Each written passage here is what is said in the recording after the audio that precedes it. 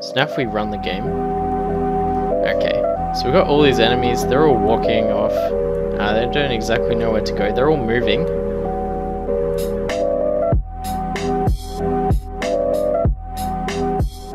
So last time we created a simple grid, okay, so we have a grid right here, okay, and it spawns a bunch of objects, okay,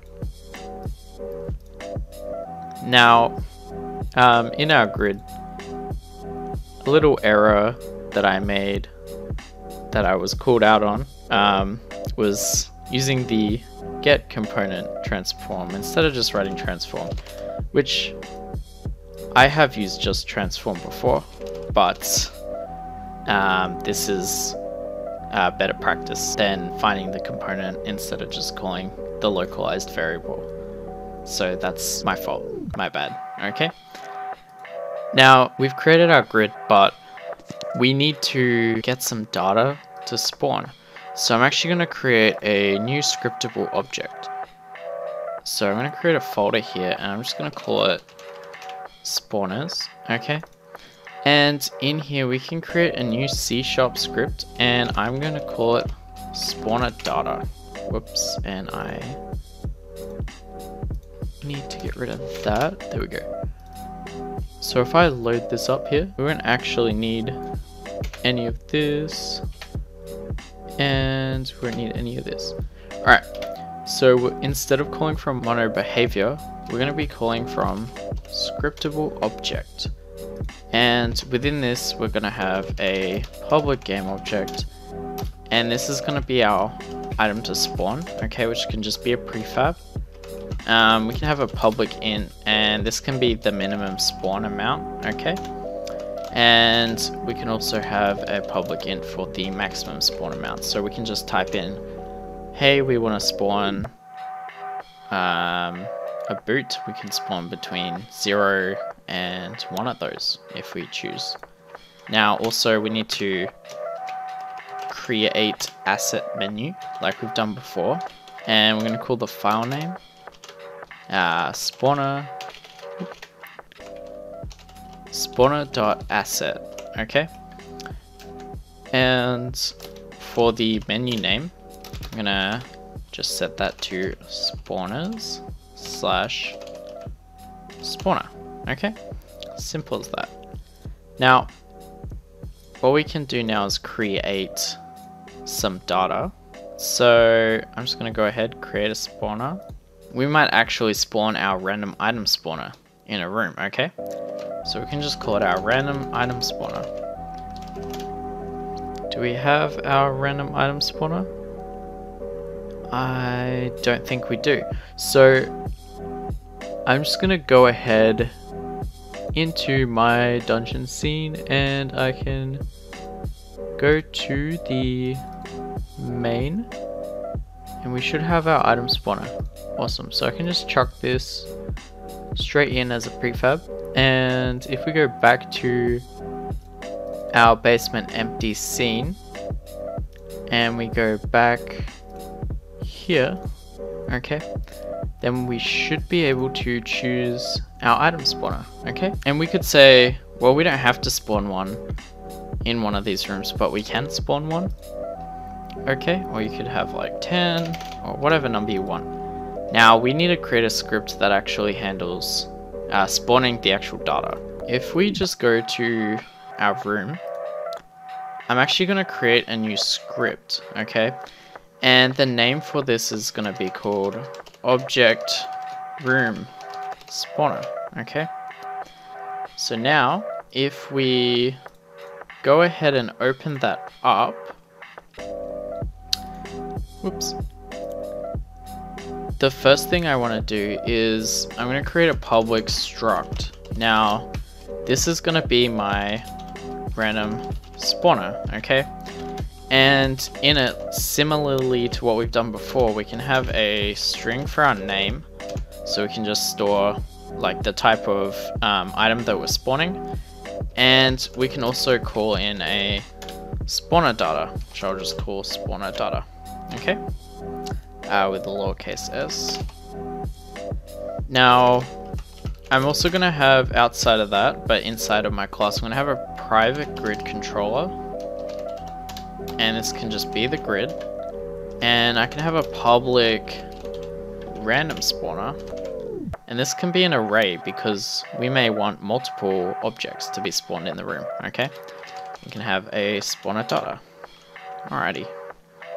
So now, within our start void, I'm just gonna set the grid equal to get component in children and we can just grab the grid controller okay? Now what we have to do is we're going to uh, have a method to spawn our objects so I'm just going to call a random spawner. This can be our data.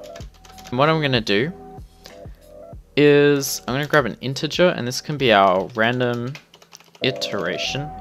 And this can be equal to a random dot range between our data dot spawner data dot min spawn okay? And our data dot spawner data dot max spawn. And I'm going to add one to this because um, within Unity's random.range, if you take a look at the method itself so if you're random dot range, the maximum value doesn't actually tell you, but in the Unity documentation, uh, the maximum value excludes this value. So if you have between 0 and 1, it's actually going to exclude the 1 and just have between 0 and 0, which doesn't really work. So we're going to, we're to add 1 to the end of it, so it's the, actually the same as this number that we're putting in here. So for int i equals 0, i is less than our random iteration, i plus plus. And for each one that we get within our iteration, um, we can grab a random position, okay, and we can set that equal to a random dot range between 0 and our grid dot available points dot count minus 1 okay? Now as we've set up in the prior video we have our available points and we're going to add available points on okay now once we've added our available point we want to instantiate the game object. So game object go is equal to instantiate uh, our data dot spawner data dot item to spawn. Okay, and we can grab our grid at our available points at our random position. Okay.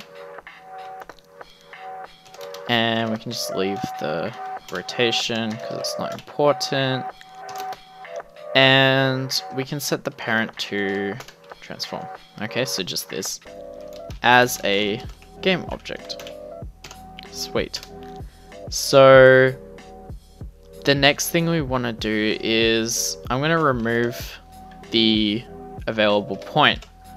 So it's not going to be available for us anymore. So we can do remove at. Okay. And we can just grab our random position. So we're going to remove it at that integer, um, at that index, okay? And then we've spawned an object, so maybe I'll just put a debug log, just so I can have some clarity, okay? Spawned object. Alright. Awesome. So I might go ahead and create another scriptable object just to show you that um, we can create multiple of whatever you'd like. This can be our chase enemy. Okay. And do we have a prefab for our enemy? No. So again, I'm gonna have to go back to my main, save it, and I'm gonna create a prefab and we can go ahead and, oh, he does have a sprite. It's just very, can't really see it which is a bit unfortunate. Alright. Just put it like that. It's a bit easier to see. Okay. So I'm just gonna go back to my empty room. And I'm actually gonna duplicate this because I guess it's not gonna be an empty room um, if we've got all this stuff in it. So we don't actually need a room spawner in here. Um, yeah. So I'm just gonna save that. I'm gonna go Control D, and I'm gonna rename it. Oops. Instead of basement empty one, I can just be basement basic one. Okay. And should be the exact same. Cool. So we can add our object room spawner and our grid it'll find. But now, so just an issue I found is we can't actually see our struct. So we need to do a system.serializable and that will allow us to see it within the inspector. Okay. So now we can put in maybe two. Our first element, this can be our uh, chase enemy, just so we can keep a nice name of it for us. And our spawner data, if we go to, just drag in our chase enemy, and make sure we add our enemy to it. There we go. We can have zero and maybe we can have one and six enemies, okay? And for our other one, this can be our random item spawner. And we can just set that to random items. So another thing that we have to do is we haven't actually told it to spawn our objects anywhere. So within our grid controller, after we've found, after we've added all of the available points, um, what I can do is I can get component uh, in parent, okay? We can grab our object room spawner and we can initialize, whoop, hmm, we need to actually create a method here. So I'm just gonna go ahead and make a public void, okay? And this will be called initialize our object spawning, okay? Now, uh, for each of our random spawner, random spawners, okay, in our spawner data, uh, we want to spawn objects, okay? And we can just take in that data. So what this is doing is it's saying uh, since we're having multiple types of objects that we want to spawn in the scene, for each type of object, we're going to spawn it based on its data, okay? Now within here we can just call initialize object spawning. Awesome. So we haven't actually found our grid controller. So I guess what we can do is instead we can just make this public. So Yep, public grid control grid. And we can just drag it in. Okay. Awesome, so we've got one, two, three, four, five enemies and an object has spawned.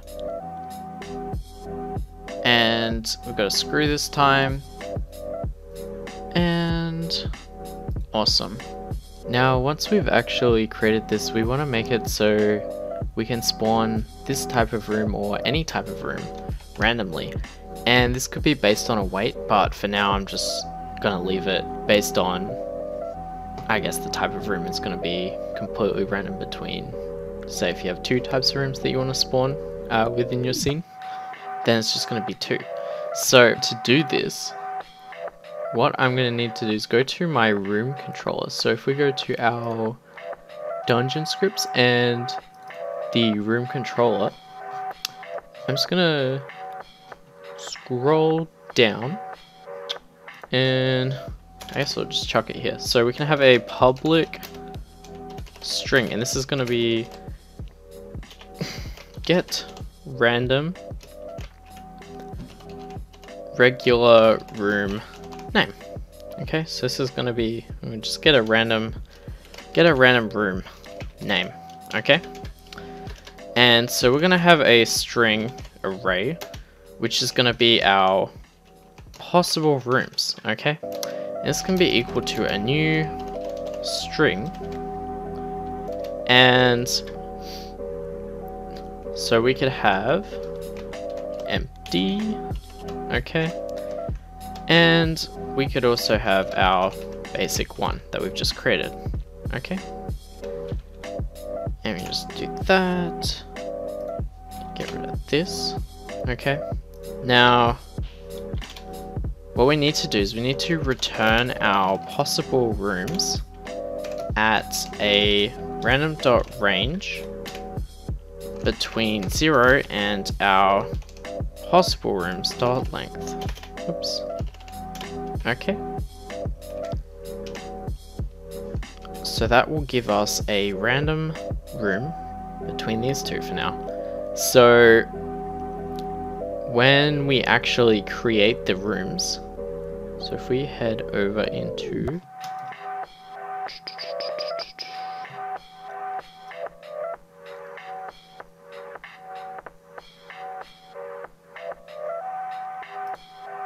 Uh, where did I put it? It was in our dungeon generator, I believe. Okay, so in instead of spawning an empty one, we can just go room controller dot instance dot um, get a random room name. Okay. So it's just gonna grab random room name and yeah, so if we head over to and oh yeah, the last thing we need to do is add it into our build settings. So if we go ahead, okay, we go add open scenes. Awesome, so we go to basement main, we run that. Now see we've got a bunch of rooms spawning, okay? And if we have a look, we've got start empty, basic one, empty, awesome.